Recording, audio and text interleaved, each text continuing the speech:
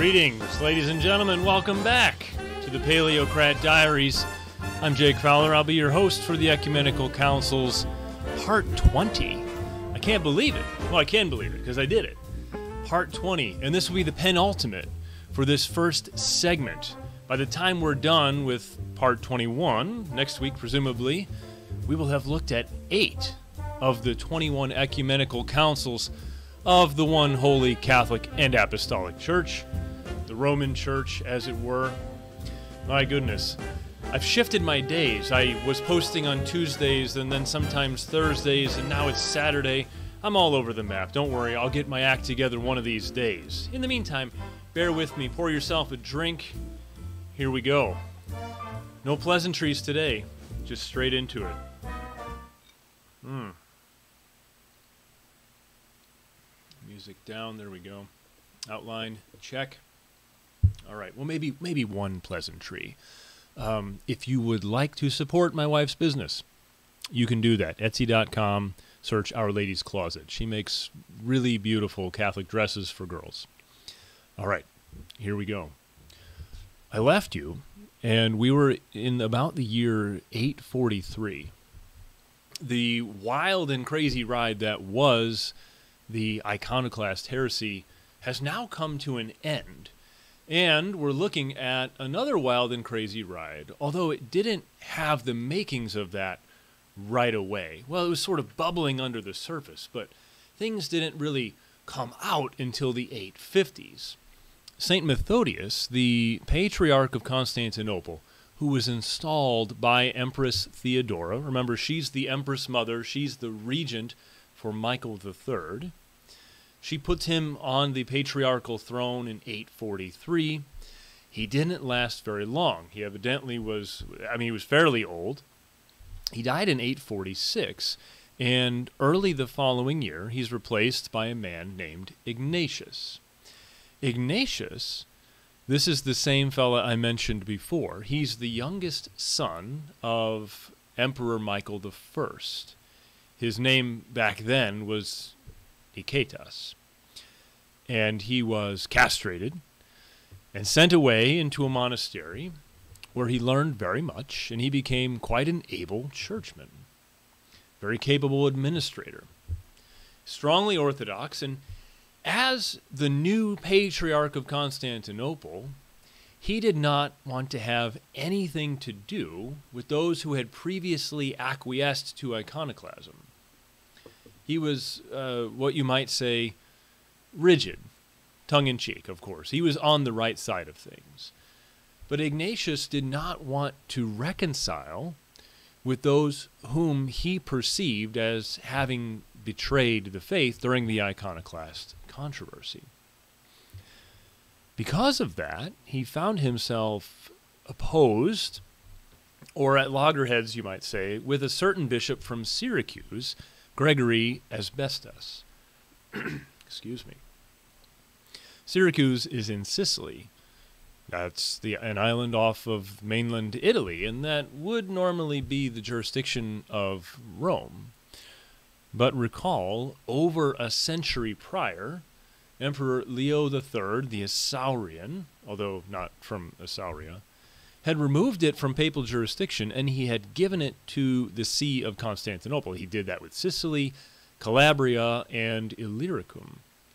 That uh, unlawful, uncanonical act was still playing itself out, despite the repeated attempts of the popes to retrieve their territory, their ecclesiastical territory, right, their jurisdiction.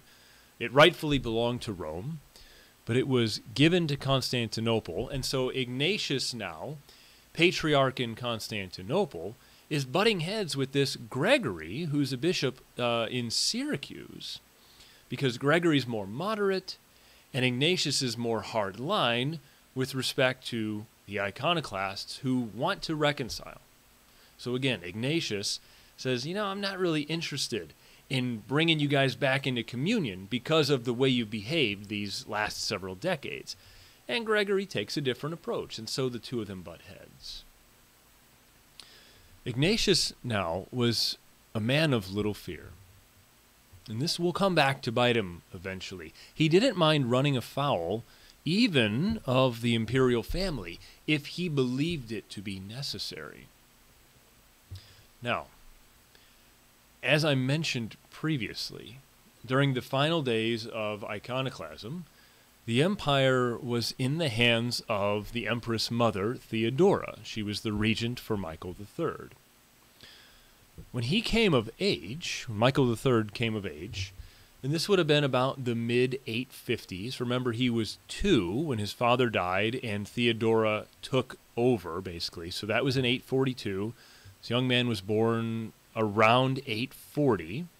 So the mid 850s, he's 15, 16 years old, and he's feeling the desire now to be free from his mother and take the empire that his father left to him.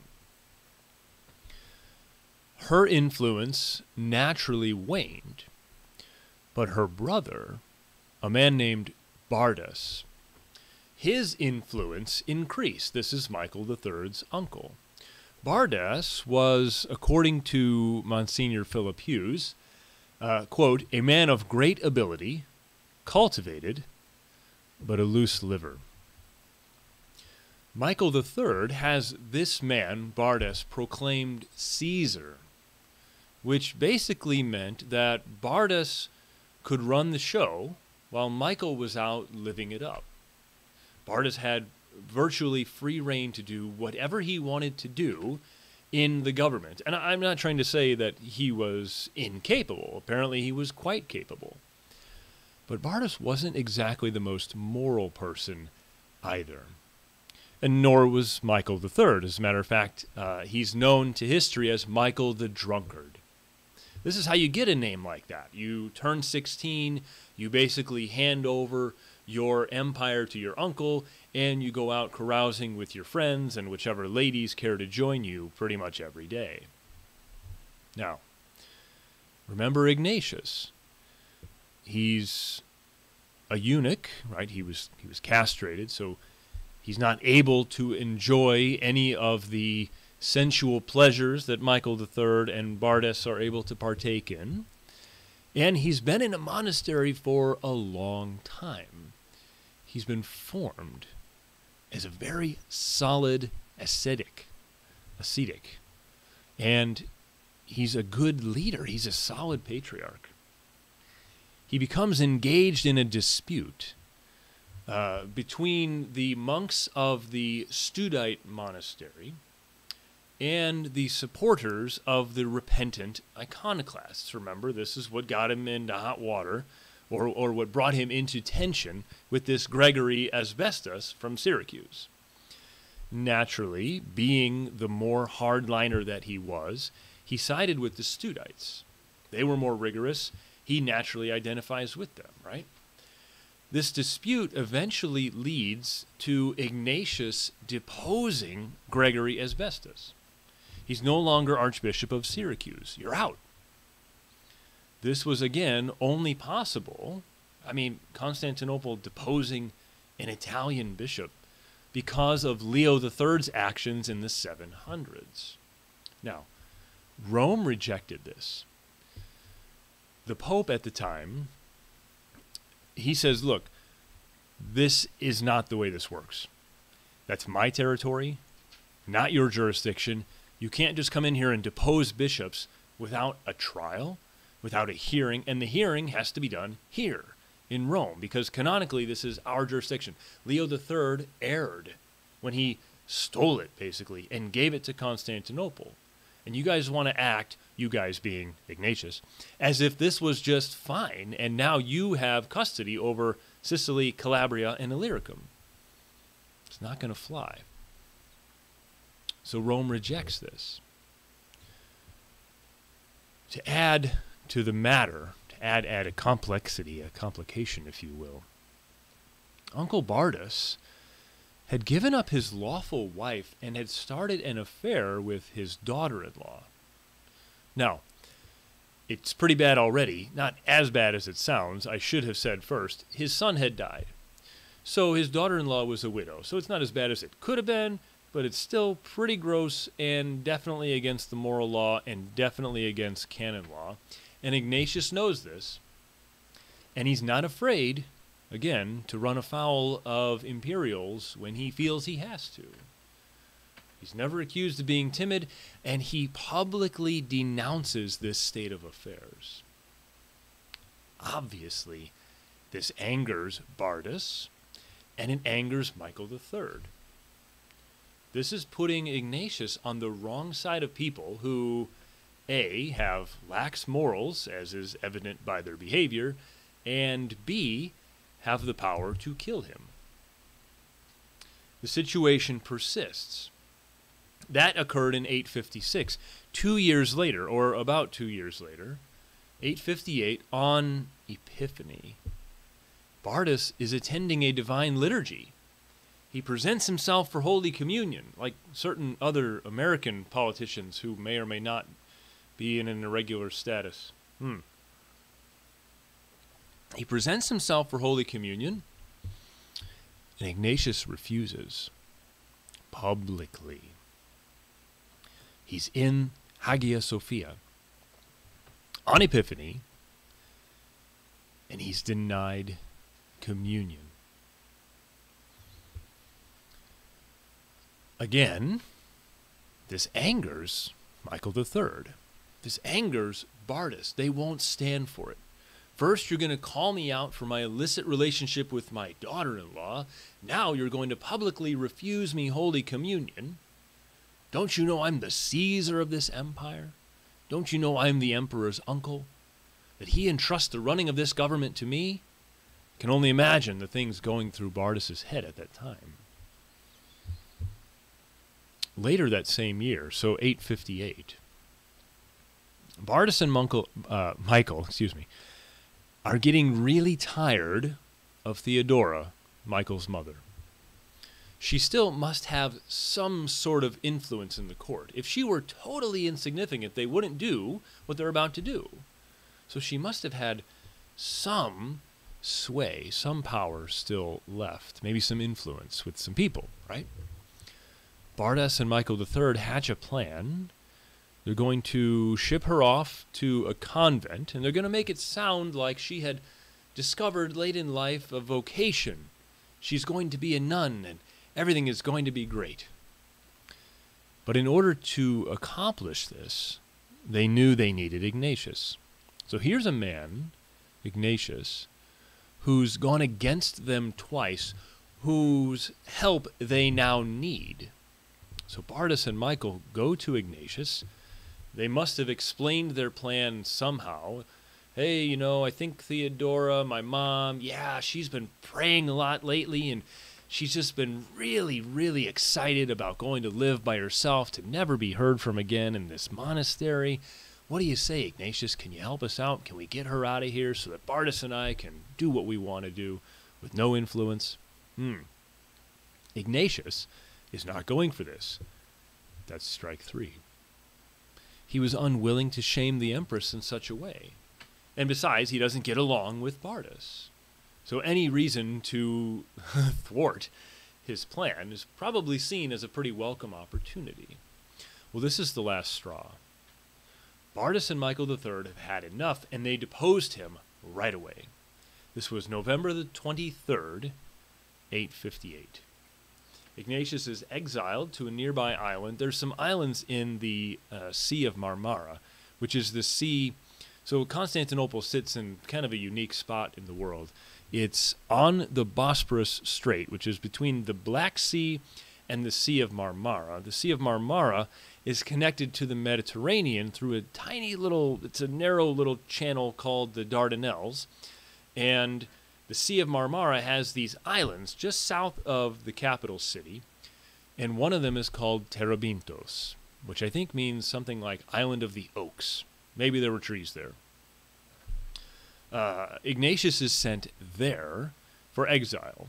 Now, I have to imagine at that latitude and longitude, on an island pretty much in the Mediterranean where you can pretty well see Constantinople from where you're at. I mean, supply ships are going back and forth.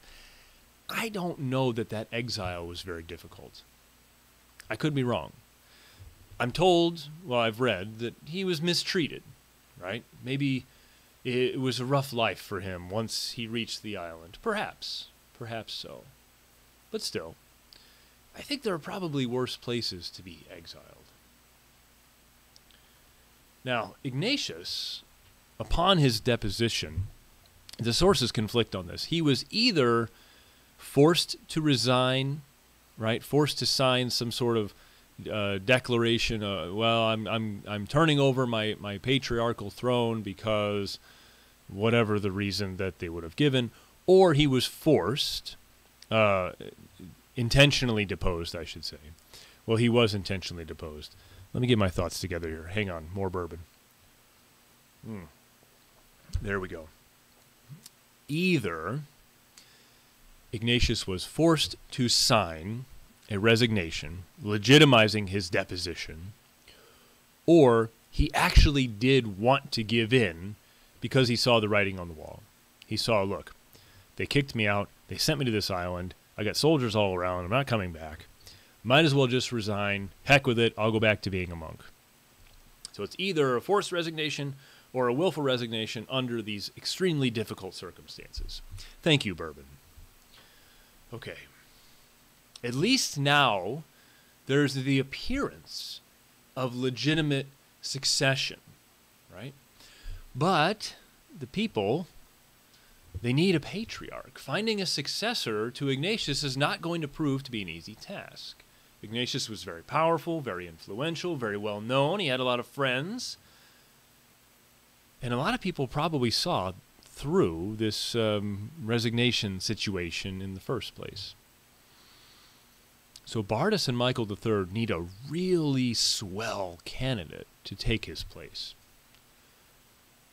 And they find a man named Photius. Photius was an extremely intelligent man. He was a professor of philosophy at the university in Constantinople. He's a relative of some pretty high ranking former clerics, most notably the patriarch Tarasius. Recall, Tarasius was patriarch beginning in, I believe, 786, appointed so by Empress Irene.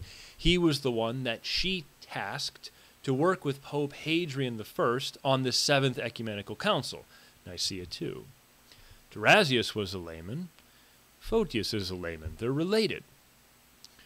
Photius's family, which is Tarasius's family, they had long suffered as iconodules.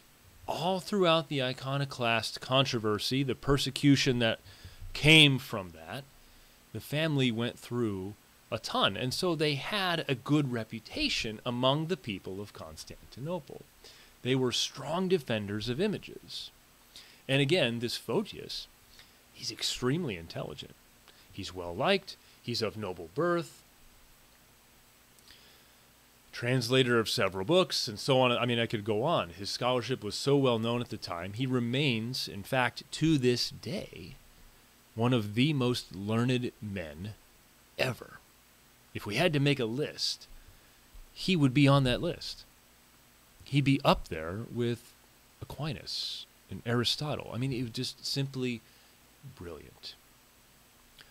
Brilliance doesn't necessarily equal orthodoxy, as we will see. Now, at this time in 858, Photius seems like a perfect candidate, except, as I mentioned, he's a layman. He's not in any sort of holy orders. Well, that never stopped Byzantine emperor before. He was a government employee. I mentioned he was a professor of philosophy at the university. He was known to Michael III, he was known to Bardas to be reliable, and so they ran him through in December of 858, very quickly, I might add, within, I think, five days from December 20th to Christmas Day, they ran him through all of the minor orders, the diaconate, the priesthood, and then they came to consecrate him a bishop, and they looked around and they thought, who in the world is going to consecrate this guy a bishop? A lot of people still side with Ignatius. A number of bishops loyal to him refused to do it. Aha! But they found one guy Gregory Asbestas, the deposed ish Archbishop of Syracuse. Not deposed according to the West, deposed according to the East, but again, Bardas and Michael III, they're like, look, we need Photius. Gregory, you're ordained, right? Okay, so you can do it. It'd be valid. Go ahead and do it. Photius is going to be our man. He was consecrated by Gregory on Christmas Day, 858. Almost immediately after the fact, the emperor and the Caesar initiate a campaign to persuade the bishops that Photius is the candidate to back. Now, we have the Ignatian party, we have a Photian party. There were these groups that were forming around each guy. Each one wanted to recognize whom they thought was the rightful, lawful patriarch of Constantinople. The Ignatian party, the bishops who sided with Ignatius, they held a synod not long after his consecration. They decided that his election was null and they excommunicated him. Now, I'm not certain who these bishops were, but Photius is instantly out of communion with a bunch of guys. But he doesn't let that get him down, you know. Early the next year in 859, he holds a synod of his own in Constantinople, and he brings together his supporters, those who thought he ought to be patriarch instead of Ignatius. Ignatius and the bishops who supported him are deposed at Photius's synod.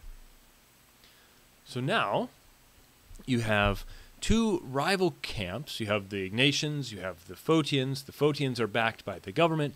Guess what happens to the Ignatians? They get to see what the inside of prisons look like. Free of charge. They get to stay as long as they want, as long as they don't want.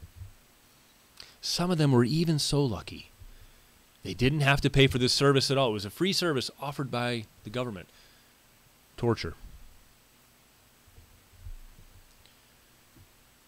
To cement his new position, Photius and Michael III each sent letters to Rome. They wrote to the Pope. The Pope at this time is a man named Nicholas. Nicholas has been Pope since 858. This is Nicholas I, and we call him Saint Nicholas the Great. Nicholas did not wish to weigh in on the matter until he had more information. But Ignatius hadn't sent anything to Rome. So the Pope instead sends two legates to Constantinople. Two Italian bishops are chosen. They're dispatched to gather information and to report back. Let me repeat that. Gather information and report back. These bishops were Rodoald of Porto and Zachary of Agnani. I think I'm saying that right. I don't speak Italian. Close enough. When these legates arrived, these two Italian bishops, Photius saw an opportunity. Hmm. What can you do in Constantinople when you see some Roman legates heading your way? Well, you can hold a council and you can claim it's ecumenical. So he holds another synod. This is in the spring of 861. The legates, with the synod, turn their attention almost immediately to Ignatius. What was this business with Gregory Asbestas, they wonder? Were you even lawfully elected in the first place? Hmm. Ignatius, for his part, he recognized the overreach. He declares to the legates, quote, I cannot be judged by you because you were not sent here to judge me. Remember, he's correct. Nicholas sent them to gather information to report back.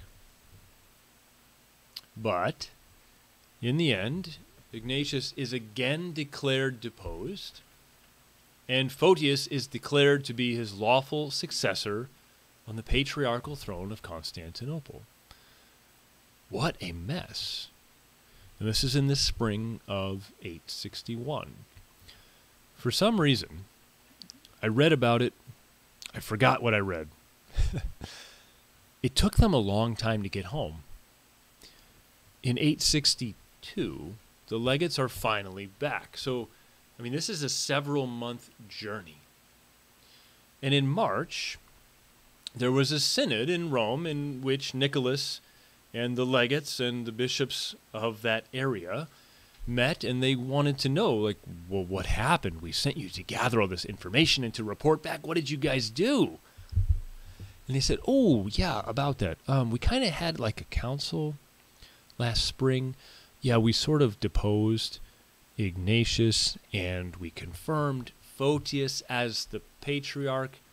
That's good right? Nicholas is not happy. The folly of the legates is revealed to the bishops. And they were, uh, they, the legates, that's Rodoald and Zachary, they were summarily disciplined, relieved of their posts, I believe. The proceedings of this synod of 861 were declared null and void. Ignatius was declared to be the rightful patriarch of Constantinople until the case against him could be heard by Rome. So stop trying to decide it on your own. Don't hold a synod. No, we hold a synod. No, you're going to hold another synod. No, we held another synod. Knock it off. Bring it to Papa. Bring it to Rome. And until that time, the guy who held the throne last, he's the lawful patriarch. That's what Nicholas I and the Roman Synod of 862 said. Now, Two and a half years later, give or take, Ignatius finally sends word to Nicholas requesting assistance. Better late than never, I guess. In his appeal to the Pope, Ignatius includes details that may have been left out by Photius and Michael III when they initially sent their letters. Ignatius relates the story of Bardas's affair with his daughter in law, which Ignatius corrected, or attempted to correct. Ignatius relates the tale of refusing Bardas Holy Communion for his persistent state of mortal sin, public scandal. And finally, the attempt to ship the Empress Mother Theodora off to a convent against her will all these things come before the Pope's attention. And Nicholas I is now determined to hold another synod. The following spring, so April 863, the bishops once more gathered in Rome to hear the matter. The facts were presented as they were now known.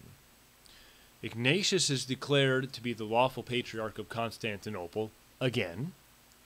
Photius is declared deposed again, and this time excommunicated. And indeed, in addition to him, all those whom Photius had ordained or consecrated in his about five years as patriarch, they're excommunicated also. That's got to be a lot of people. That's got to be a lot of people. I don't have a number in front of me, but I can imagine it's more than a few. The legates that took part in the Photian Synod of 861 and Gregory Asbestas, they suffered the same fate deposed, excommunicated. So, Gregory, you're out for real this time. Uh, Rodoald, goodbye. And Zachary, sorry, buddy. When the proceedings of this Roman Synod of 863 were made known to the East, we're not entirely sure what was said. No reply has survived the sands of time. The next installment, if you will, in this drama is a scathing letter from Nicholas I to Emperor Michael, Emperor Michael III. He rebukes the emperor for his, quote, blasphemous letter. So, although we don't have the reply from Michael III, it seems as if he wrote something pretty irreverent. He wasn't treating the Holy Father in the way the Holy Father ought to be treated. And Nicholas recognizes this and he corrects his subject. He demands that the papal decisions executed at the Roman Synod of 863 are accepted and enforced. And again, no reply is known from the East. In 866, Nicholas fires off another fiery letter. Now, things obviously are heating up. Photius can't just sit back and say nothing. It will make it look like Nicholas is correct if you never have anything to say in your own defense. So, Photius, in order to justify his continued split with Rome, remember, the Pope deposed and excommunicated him in 863. Three years later, we finally hear from him. In fact, I think it's actually four years later, 867, when this letter that I'm about to tell you about is sent to the Pope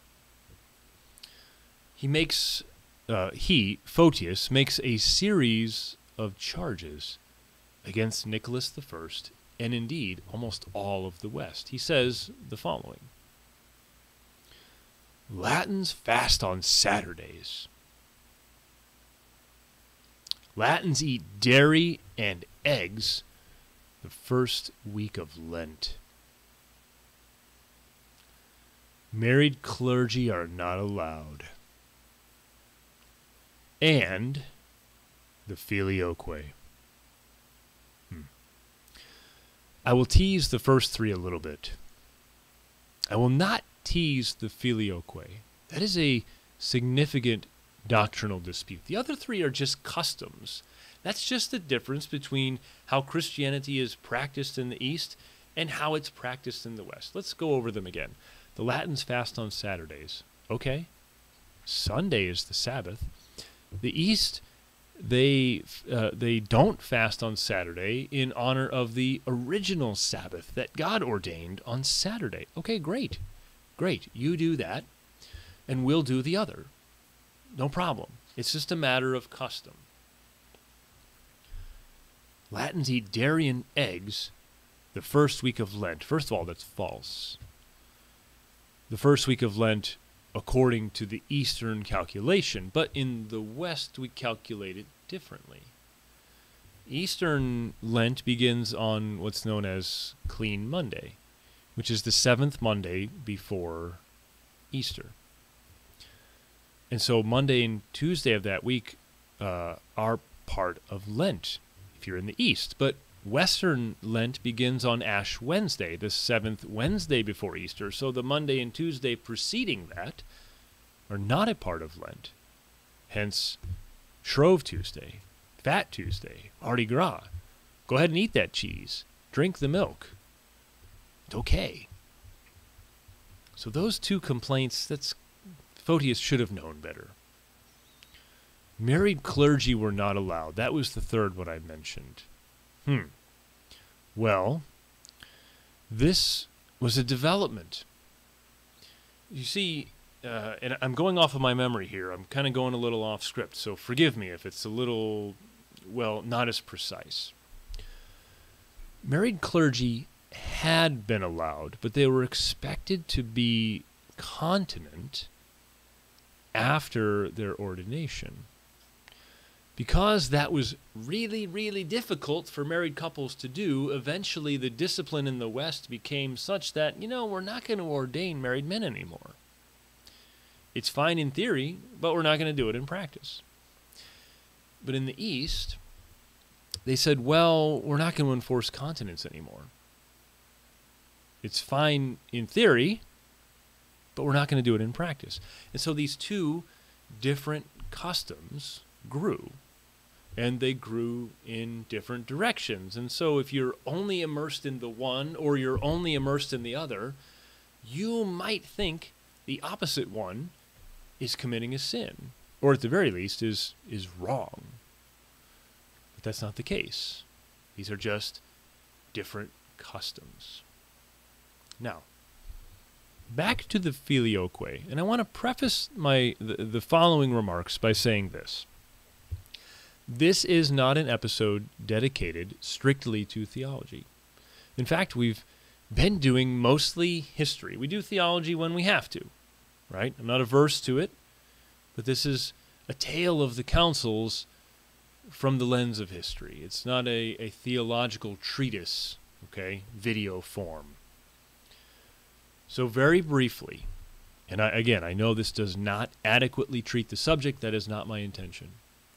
Very briefly, filioque is Latin for and the Son. The Greeks, the Eastern uh, Christians, they profess that the Son is generated and that the Spirit proceeds from the Father. They profess that the profess that the Spirit proceeds from the Father through the Son. Right? There's a passage in Scriptures. Uh, there's at least two, I believe, where Christ Himself speaks about sending the Holy Spirit. So you can't deny that. But the Greeks say, well, He he, the Holy Spirit, proceeds from the Father through the Son. He doesn't proceed from the Son. Okay. They don't say this in the Creed explicitly, they simply profess procession from the Father. The Latins in the West, they say proceeds from the Father, and they also say proceeds from the Son.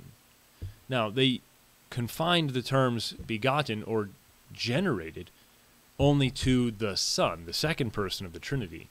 So when they say the procession of the Holy Spirit from the Father and the Son, filioque, that's not meant to be anything other than what the Greeks are saying. From the Father through the Son. He comes from the Father and the Son, right? Yeah. The Father and the Son sent him, right? Yeah. Okay, what's the problem? Well, the problem really was that the Latins, at least some of them, had added it to the Nicene Creed. Photius, in his letter in 867, in addition to the three customs that I previously described, he says, Nicholas, you are a heretic because of this filioque in the creed. In his mind, the decisions of the Pope, therefore, could be ignored. Hmm. Not only could be, but should be. So, Photius judges the Pope to be a heretic, and he says, therefore, I don't have to honor, I don't have to obey, I don't have to give any credence to his canonical decisions about my status as patriarch, Ignatius's status as patriarch. Hmm. Interesting. Photius recognized Nicholas as successor of Peter, but resisted his will resisted Nicholas's manifest mind on the matter. Photius summons a council in the summer of 867 wherein the pope is declared to be deposed. Nicholas I and anyone who supports him were called, quote, forerunners of apostasy, servants of the Antichrist, liars, and fighters against God. Letters were sent to Rome informing them of their new status as forerunners of apostasy, liars, and so on and so on. Now, I've mentioned it before that it wasn't as if the Great Schism, right, nominally associated with the year 1054, it wasn't as if this just came out of nowhere. Once more, we can point to something a big something in this case, and say, you know, this is surely a factor in the rift between the churches we now refer to as Catholic and Orthodox. Those terms would have been interchangeable, referring to the body of Christ prior to 1054. Now they're unique, if you will. Right? The Orthodox Church claims Catholicity small c, the Catholic Church claims Orthodoxy small o. It's confusing.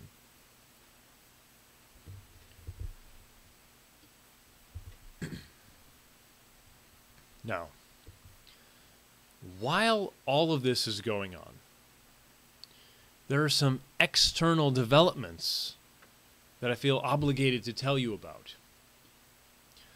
The conflict between Rome and Constantinople gains an added layer of depth when we consider the Bulgarians.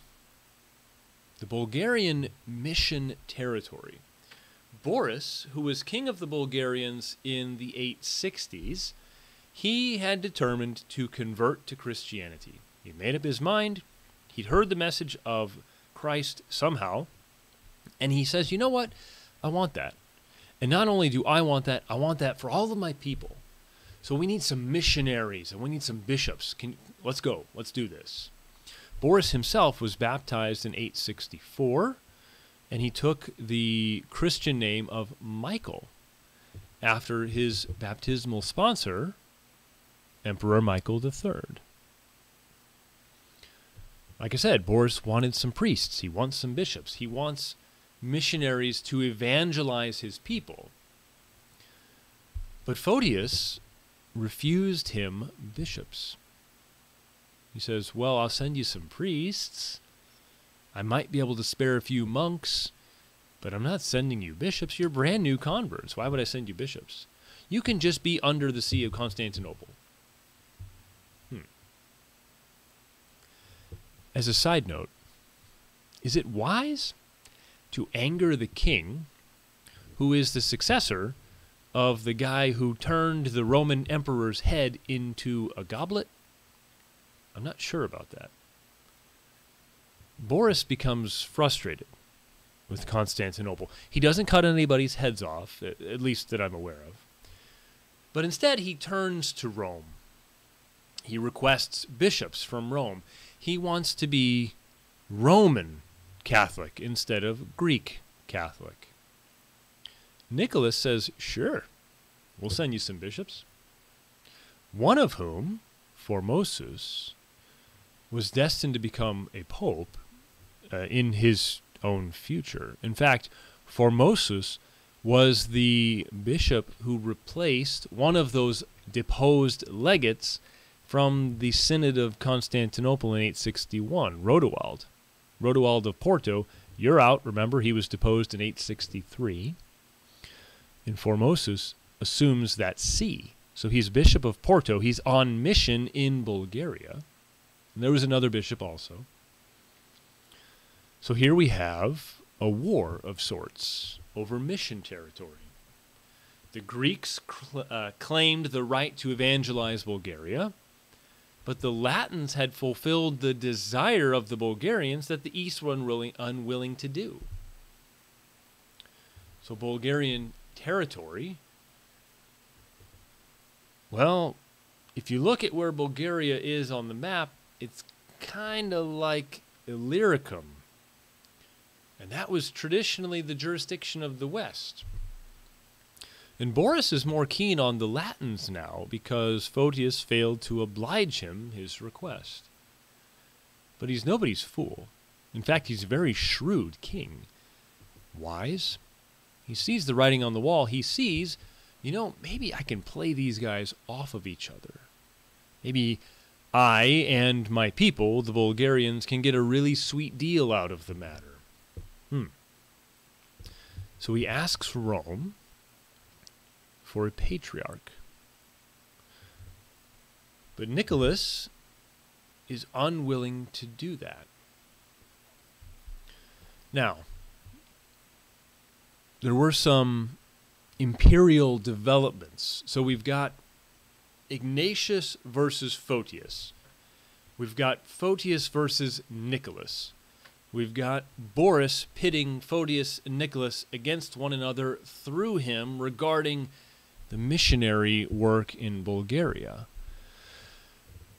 And in the midst of all of this, in the imperial household, trouble is brewing.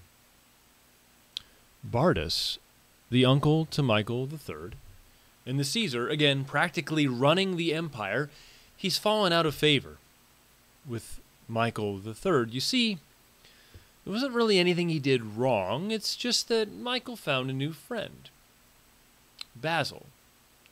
Basil was uh, perhaps an Armenian. He's known as Basil the Macedonian. He's a strong man, right? Uh, a circus performer of sorts. And he's got a lot of athleticism. And apparently he's a heck of a drinking buddy, too. He was completely illiterate, but man, could that guy hold his liquor. And he became really close with Emperor Michael III. In the year 866, Basil persuades Michael that Bardas needs to go. In April, Basil arranged to have Bardas murdered. Basil then assumes the vacancy created by this power vacuum. Well, Michael III, now that your uncle has tragically met his end, I don't know how that happened. Don't you need a new Caesar? Wouldn't you like it to be me? Right away, Basil and Photius, uh, they're not going to get along very well. Basil had killed the man who made Photius what he was. And Basil was very heavily influencing Michael III. Hmm. This tension carries over into 867. Remember, this is the year that Photius decides to write that snarky letter to Rome, talking about the fast, talking about the married clergy, talking about cheese on Monday and Tuesday before Ash Wednesday. Basil seems to. Uh, he was illiterate, yes, but he must have sensed something. He must have thought, you know, what I did to Bardas could easily be done to me. And in order to prevent that, there's only really one thing that has to be done. Maybe Michael III is getting tired of me. I don't want to end up like Uncle Bardas. So Basil, perhaps by his own hand, slew Michael III September 23rd of 867. Basil killed the emperor, killed him in cold blood, and he had himself proclaimed Roman emperor, Basil I. This is the inauguration of the Macedonian dynasty, which, I might add, was the dynasty the most successful one that I'm aware of for the Byzantines. Reigned from 867 to I think 1071, something like that. Pretty healthy span of time. Lots of great things going on in Byzantium during that time. We'll get to that eventually. But now that Michael III is out of the picture and Basil I is the emperor, it's time for a clean house, right? Out with the old, in with the new administration. You know, this is like the transition time. Every time we have a new president, all of your cabinet officials have to go. I'm going to bring in my own guys. And this includes Photius. Photius didn't ever get along well with Basil anyway, so it really wasn't that hard for Basil to say, hey, sorry, pal, you got to go. Basil recalls Ignatius from exile and reinstated him as the Patriarch of Constantinople. And then he sends word to the Pope of the events, and he suggests that, you know, maybe the divide between the Ignatians and the Photians could be decided by you so that there can be closure and peace can reign once more in the church and in the empire. Funny thing, Photius's letter decrying the Pope as a heretic, directed at Nicholas I, and Basil's letter addressed to the same Pope saying, you know, hey, let's try to figure this thing out. I want to reconcile. Well, Nicholas was dead. The letters are received by Hadrian II. Hadrian is a strong pope, but he's not Nicholas the Great. Basil proposes a council to end the schism between Constantinople and Rome, a schism we now refer to as the Photian Schism. Photius, uh, excuse me, let me back up a little bit. Hadrian II is amenable to a council. He says, you know, Emperor Basil I, the Macedonian, former circus strongman, illiterate though you are, not a bad idea. Not a bad idea. We can have a council as long as you do what I say. This is kind of like the way Agatho did it, the way Leo the Great did it, the way Hadrian the First did it. You know, yeah, I guess we can have a council, but here's what's going to happen at this council. This is what we're going to do, and you're either okay with it or you're not. Here are the conditions. Photius is to be condemned and excommunicated again. And if he repents, he can come back into communion with the church, but he can never be more than a layman ever again. Number two, anyone whom Photius ordained or consecrated was excommunicated. But if they repent, they can come back into communion with the church, but only as laymen. Number three, the Council of 867 is to be condemned. That's the Photian Council of 867, the one that deposed Nicholas I. It's to be condemned and annulled, and the new council in Constantinople was to be ordered to accept these decisions, these three decisions condemn and excommunicate Photius, condemn and excommunicate anyone whom he ordained or consecrated, and annul Photius's council or synod of 867 in Constantinople. There are the terms. Do not discuss it.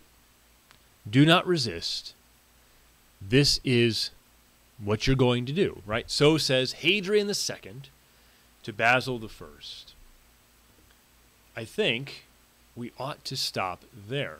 Let me switch to the end screen. I like this screen. I like this song. It's in my ear right here. I like this drink. Okay, so we've covered, not as long, but my goodness, what a crazy two decades, were the 850s and 860s. We're not even out of them yet. We're sitting in about the year 869, or we will be. Next time, and next time will be the last time for this segment of the Ecumenical Councils, we are going to look at Constantinople IV, which the West holds as the eighth ecumenical, the East does not recognize. We're going to look at Constantinople IV, and then the aftermath, and then on to other things for a short time.